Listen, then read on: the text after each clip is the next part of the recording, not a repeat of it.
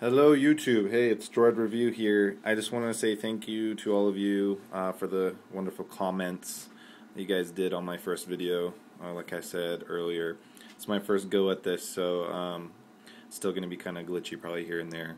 Um, anyways, I'm going to get right into it. I'm going to go into a couple more applications here um, that we're going to do. I basically um, I'm gonna go over some applications that I do like, I don't like, you know, I love. I'm I'm not gonna just go over ones that I enjoy.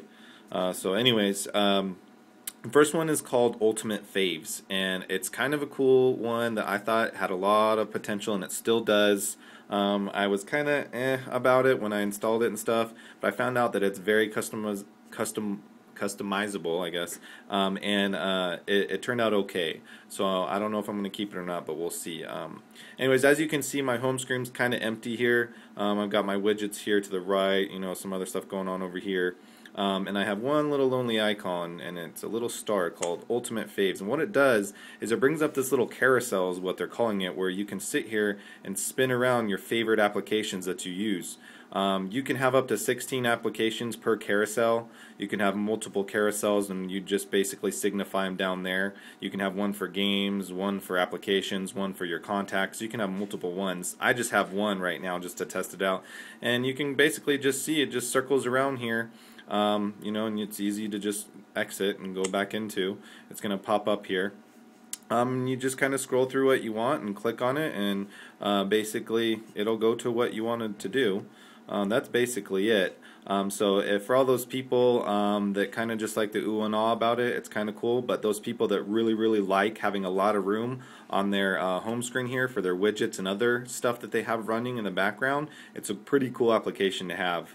Um, Another good thing about it is the custom custom that you can customize it so much. Um, basically, what you do here is you click on menu settings. Um, you can have uh, quick access by having the soft key here on the right side of the phone for the camera. Instead of it accessing the camera, it'll actually bring up your carousel. So that means you can eliminate any and all icons on your um, home screen. Um, you can basically have set the carousel speed. Um, you can basically show labels, uh, which basically shows what it is and what it isn't on the icon. You can uh, change the carousel name, select the icon size, change background color, background type, transparency, all kinds of stuff. Just tons and tons of stuff that you can customize, which makes the application, I think, good. If it wasn't for customizing, uh, I probably wouldn't use it just because it really, I really don't mind having icons on my home screen for quick access. But for those guys that need a lot of a lot of room on their um, on their home screen, this is a definite must-have. That one's called Ultimate Faves. It's also free in the app market. The next one that I wanted to do was uh, it's going to be kind of hard to uh, describe this, but it's called Mobile Defense. And uh, what it is is it's basically if you lose your phone, and um, it's it's basically if you lose your phone, you log into a website, um, and um, you uh, are able to view where your phone is, send messages to it, lock it out, completely wipe your phone, meaning delete your whole SD card, delete your contacts, your emails, your SMS, your phone book log, all that. That one's called um, Mobile Defense, and it's free. And honestly, I didn't believe it when I first saw it, um, but it actually is a really good application. Um, and basically, once it's installed, you go to the website, um, create a username and login, log in. It'll send a text message to authenticate, um, and then you can basically locate it. It's it's it's a really cool website um, that you would go to and um, I'll show you basically what it looks like when because they have a screenshot of it on their website here and you can easily just go to mobiledefense.com but basically this is what it's going to look like when you log in. It'll pinpoint exactly where your phone is. It'll give you an address. It'll give you options to send an alert to lock the phone um, and it, it's it's pretty cool. I really like it a lot. Um, it works on all Android platforms um, it's always being updated. It has a lot of potential. That's one thing I like about um, Android market is all the developers are constantly uh, fine tuning and listening to their users and changing things the way you guys want it. I, that's what I love about Android um, software right now is that they listen to us and uh, we uh, we tell them how their app is good or bad, and they actually do change things. That one's called Mobile Defense. There's no gimmicks, there's no contracts, there's no cost to it, there's no advertisements everywhere. It's a great application. The next one I wanted to go over, um, it's kind of cool. Uh, for all those techie guys out there, um, this one um, is called, um, it's a widget, and it's called Mobile Buzz. It's right here. Can be downloaded free in the Android market. Mobile Buzz basically is a ticker or RSS feeder to um, all anything that has to do with cell phones, and it's got multiple multiple websites. It's good and bad. I like it because I'm all about cell phones. I'm not just about one phone. Right now, I think you know the the Droid is is hands down one of the coolest phones out right now. But um, it's um, I'm not just hands down one phone. I'm a jack of all trades, I guess. Um, when we click on it here, um, it's going to bring up any and all news that has to do with uh, different phones, and we can do scroll through here. If the article has a picture, we just click on the picture. It's going to bring it up for a little bit. We can minimize it back down here.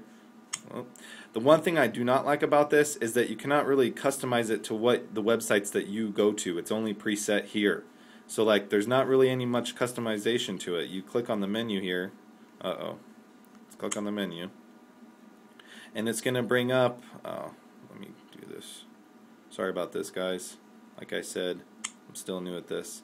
Um, if we click on the menu button here, um, it's going to bring up the only two settings, which is the refresh rate, you can change it, and then the content. You can change it to mobile news, which will show you all kinds of different websites for the pre, the iPhone, the Droid, um, anything, Crackberry. You can just set it for Android, Blackberry, iPhone, blah, blah, blah, blah. So here's the refresh rate. Not too customizable. I don't like that. I don't know if I'll keep it. I do like it because I love hearing about um, uh, mobile news all the time which is really cool. Um, I mean, if it were me, I'd have a couple websites. I'd, I'd have Engadget going, uh, Phone Dog, Phone Scoop, maybe GSM Phone Arena. Who knows? Uh, those those four websites I, I go to a lot, and I would love to see the top stories maybe refreshed every hour or so on my desktop. So maybe, maybe just maybe we'll get some sort of developer or or something changed with this this this uh, application. So this one does have a little bit of potential. It's not the greatest, but I thought it was pretty good to review.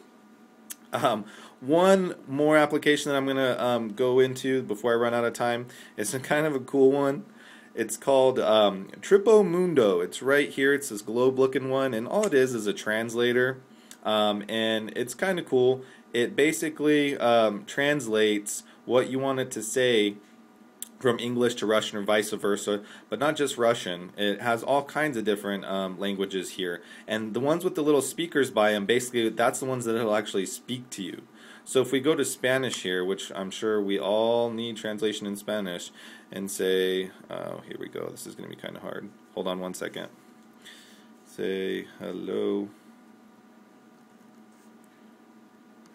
How are you? And let's hit the back button. Let's turn it back around here so you guys can see it. If we click speak, and we'll listen quietly here, maybe we can hear it. Hola, ¿cómo estás?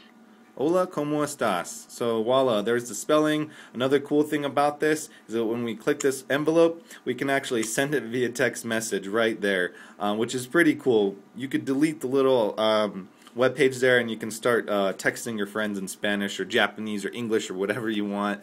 Um, pretty cool one. That one's called Trippo Mundo. So um, that one's also free in the app market. Pretty cool. Um, let's go ahead and uh, that's pretty much it, guys. Um, that's the ones that I'm going to be doing today. Um, but thanks again for all your great reviews. Please stay tuned. Uh, my next one I'm probably going to be doing is going to be dedicated just for the, the some games in the Android market. Um, there's some hit and misses in the Android market for games, man. Because um, uh, let's just say on some other phone, there's some really kick butt games um, by some big big companies that uh, release games out to that one phone, the iPhone um, here. So um, that's one of those things that I'm going to be going over, and I found some actually that are pretty cool. So thanks again for watching. Um, if you have any comments, please go ahead and comment. If any questions, let me know. I'll, I'll get back to you real quick. Um, thanks again for watching, and thanks for all your great, great comments. And stay tuned for my um, uh, review on the uh, games that I'm going to be doing. Thanks again, guys.